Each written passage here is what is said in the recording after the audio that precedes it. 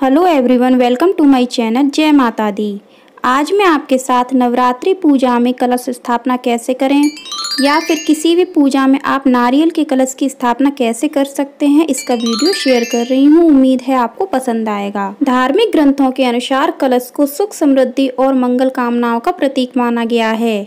वहीं कलश के ऊपर रखे नारियल को भगवान गणेश का भी रूप माना जाता है। कलश के मुख में भगवान विष्णु कंठ में महेश और मूल में भगवान ब्रह्मा का निवास माना जाता है। इसके साथ ही कलश के मध्य में देवी शक्तियों का निवास होता है। नवरात्रि में या फिर किसी भी पूजा में कलश की स्थापना करने से घर में न केवल सुख समृद्धि आती है, बल्कि सकारात्मक ऊर्जा भी बनी रहती है।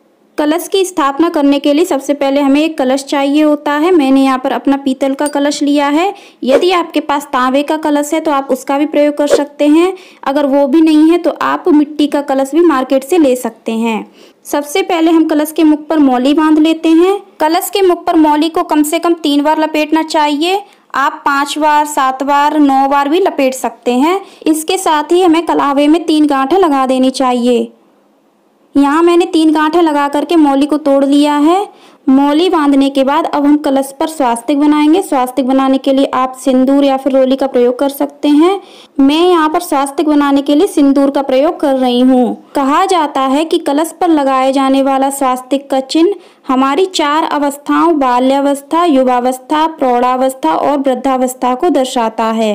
तो फ्रेंड्स मैंने यहाँ पर कलश के सामने भी स्वास्तिक बनाया है और अब मैं कलश के पीछे वाले साइड पर भी स्वास्तिक बना रही हूँ।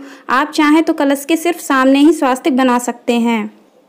अब हमें कलश स्थापना करने से पहले ध्यान रखना चाहिए कि हम जिस भी स्थान पर कलश स्थापना कर रहे हैं जिस भी स्थान पर या फिर जिस चौकी पर कलश स्थापना कर रहे हैं, वो स्थान एकदम स्वच्छ होना चाहिए, हमें उसको शुद्ध जल से साफ़ कर लेना चाहिए। यदि हम ज़मीन पर कलश की स्थापना कर रहे हैं तो हमें ज़मीन को अच्छे से स्वच्छ कर लेना चाहिए, चौकी पर कर रहे हैं तो चौकी को भी हमें अच्छे से शुद्ध जल से साफ़ कर लेना चाहिए और चौकी के नीचे भी हमें अच्छे से सफ़ाई रखनी चाहिए। इस बात का हमें विशेष ध्यान रखना चाहिए।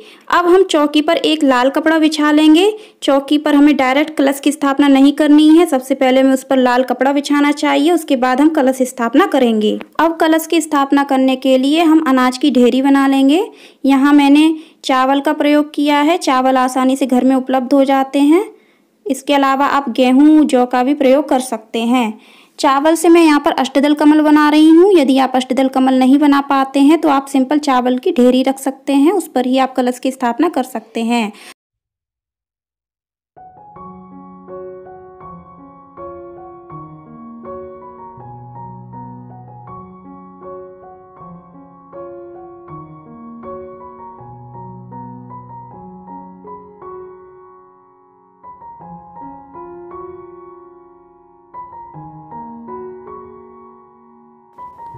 अब हमने यहाँ पर अष्टदल कमल बना लिया है और यहाँ पर मैंने माता के नाम की थोड़ी सी रोली छिड़क दी है। इसके बाद हम इस पर कलश को स्थापित कर देंगे। अब कलश को सबसे पहले शुद्ध जल से भरा जाता है। उसके बाद उसमें थोड़ा सा गंगा जल डाला जाता है। अब इसके बाद हल्दी की गांठ डालेंगे। मेरे पास दो छोटी छोटी हल्दी की गांठ है।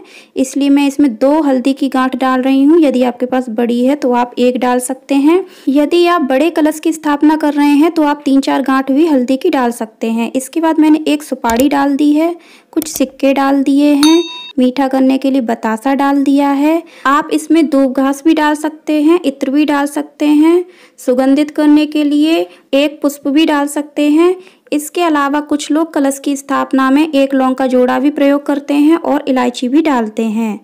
तो इस तरह से आप कलश की स्थापना कर सकते हैं।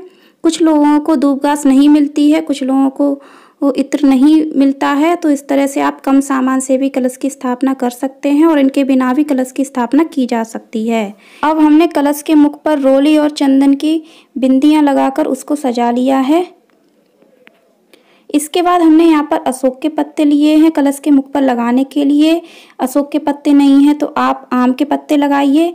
पहले तो आम के पत्ते ही लगाए जाते हैं। यदि आपको ना उपलब्ध हो तो आप अशोक के भी लगा सकते हैं। अगर वो भी उपलब्ध ना हो तो आप पान के पत्ते का भी प्रयोग कर सकते हैं।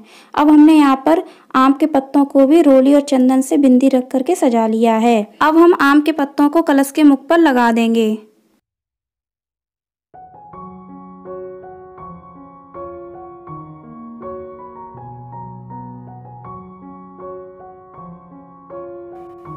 कलश के मुख पर अशोक के पत्ते लगा दिए हैं। अब हम इस पर चावल से भरी हुई कटोरी रख देंगे।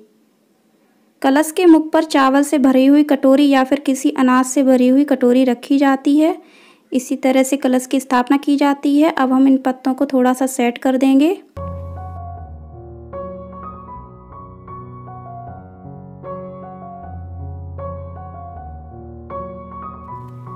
अब कलश के मुख पर रखने के लिए हमने जटाओं वाला, पानी वाला नारियल लिया है। इसको हमने माता रानी की चुनरी में लपेट लिया है। नारियल पर लपेटने के लिए यदि चुनरी नहीं है तो आप लाल वस्त्र का भी प्रयोग कर सकते हैं। इसके बाद नारियल पर कलावा लपेट देंगे।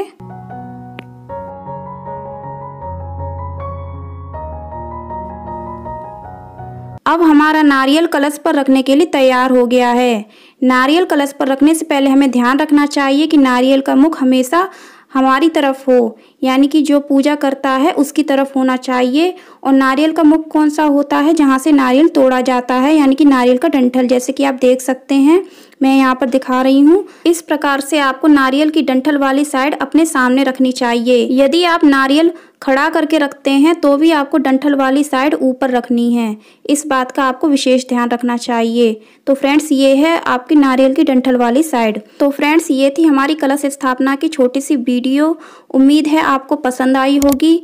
पसंद आई है तो लाइक करना शेयर करना, हमारे चैनल को सब्सक्राइब करना बेल आइकन को प्रेस करना कमेंट में जय माता दी अवश्य लिखना और कमेंट करके ये भी बताना आपको हमारी वीडियो कैसी लगी। धन्यवाद, जय माता दी।